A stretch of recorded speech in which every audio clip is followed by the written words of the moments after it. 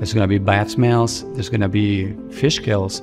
There's going to be a lot of algae getting entangled in your boat, in your propeller. And it's not a nice view. So, in a way, we're decreasing the value of the land, which is precisely the same value that brought people here to enjoy uh, an enjoyable summer. Javier Lloret is a research scientist at the Marine Biological Laboratory on Cape Cod, a hook shaped peninsula off Massachusetts, about 70 miles southeast of Boston. One of the things that we're planning to do here, right in this location, is to collect some groundwater samples just to check on the overall health of the, of the ecosystem. And here we go. That's our filter sample. We will analyze for the nutrients. Nearly 230,000 residents live on the Cape year round. But in 2022, more than 4 million tourists visited its beaches and shores. Tourism is big business here, bringing in $1.4 billion to Barnstable County. And generally, those numbers grow each year. But the Cape has become a victim of its own success. More visitors and more homeowners have brought unchecked pollution to the area, threatening to permanently destroy its beaches and estuaries. A new report finds that Cape Cod's bays and ponds continue to suffer from water pollution. Cape Cod's bays and ponds are polluted with excess nutrients. Decades of pollution continue to threaten both human health and ecosystems.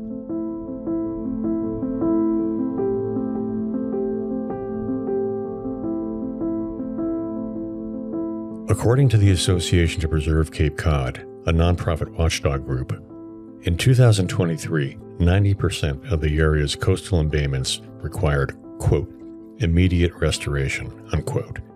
And beach closures in response to high bacteria levels are now common throughout the busy summer months.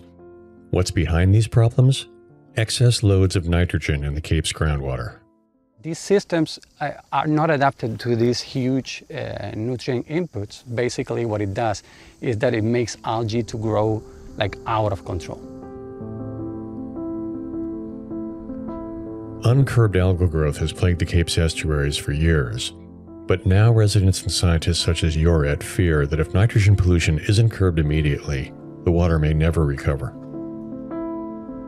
Nitrogen naturally occurs in the environment, but too much nitrogen in salt water results in massive overgrowth of algae. The algal blooms block light to plants at the bottom of the water and use up oxygen that's vital to sea life. Around the world, nitrogen pollution has become a big problem in estuaries such as the Chesapeake Bay. But unlike in the Chesapeake, the nitrogen on the Cape isn't from chicken feces or agricultural fertilizer. It's coming from human urine. In some cases, probably like 90 95% of the nitrogen that is coming to these waterways comes from wastewater.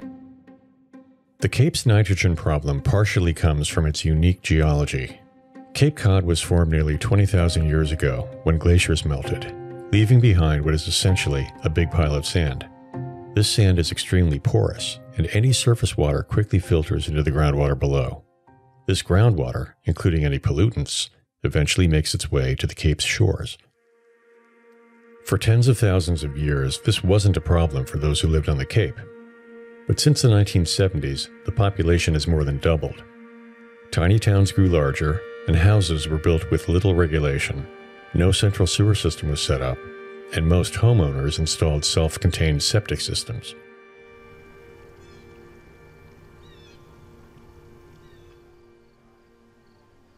Well, what we see now is um, a cyanobacteria bloom that uh, has been going for about a week to 10 days now. Andrew Gottlieb, director of the Association to Preserve Cape Cod, has lived on the Cape his whole life.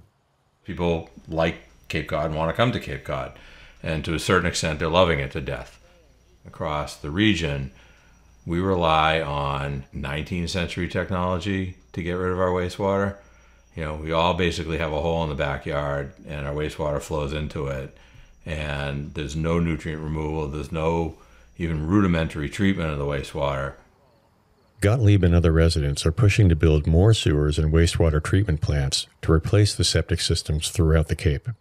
A standard septic system has two components a large container that has an inflow and an outflow, and a leaching field that has perforated pipes surrounded by gravel or sand. The wastewater from the toilets or household appliances flows into the large container.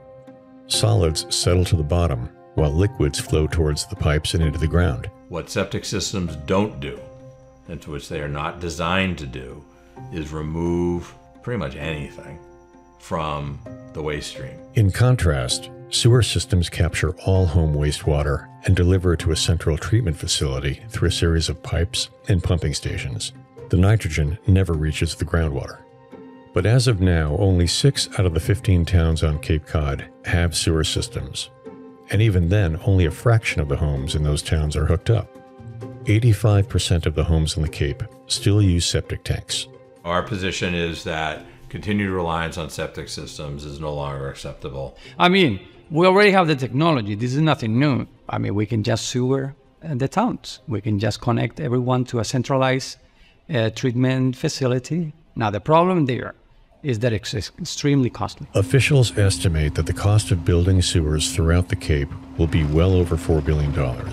Some of that money will come from the state. Some towns in the county have also imposed a so called Airbnb tax on short term rentals. But that will not be enough. We're going to reach a point where there's still going to be a gap there, and we're going to need to go to the public and ask them um, for additional revenue. Mark Ells is the town manager of Barnstable, the largest town on the Cape. Barnstable is in the first few years of a 30 year plan to build sewers for all its residents. But the town of Barnstable says that even beyond the cost, the actual construction of the sewers presents a massive engineering puzzle.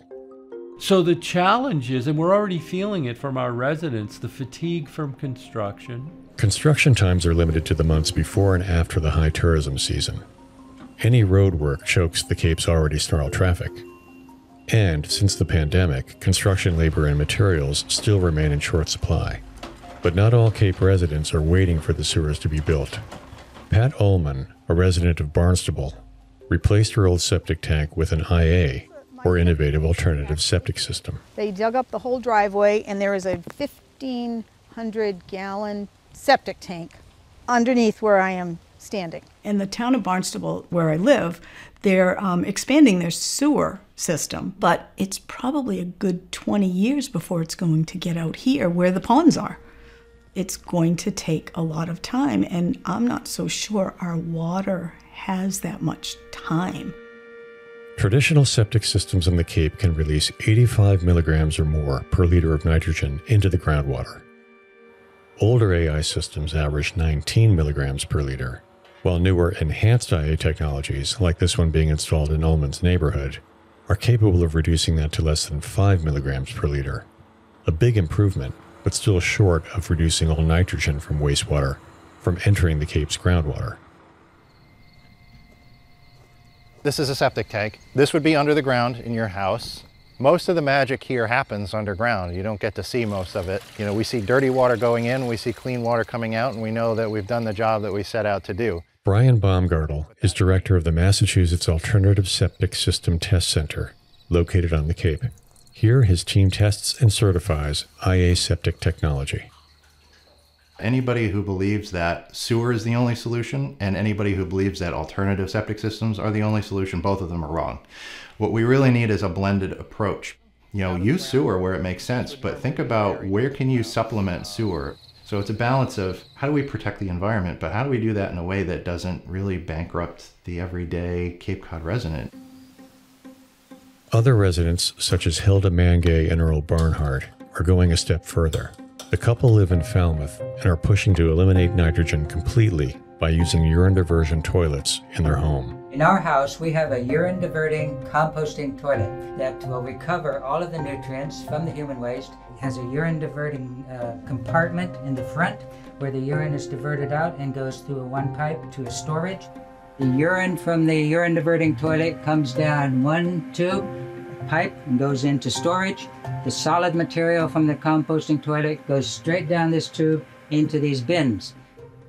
The sooner we get this nitrogen out of our wastewater, out, out of our water, the quicker we can maybe restore the ecosystem. The longer we wait, the further the ecosystem has degraded, and the less likely is that we ever can get it back.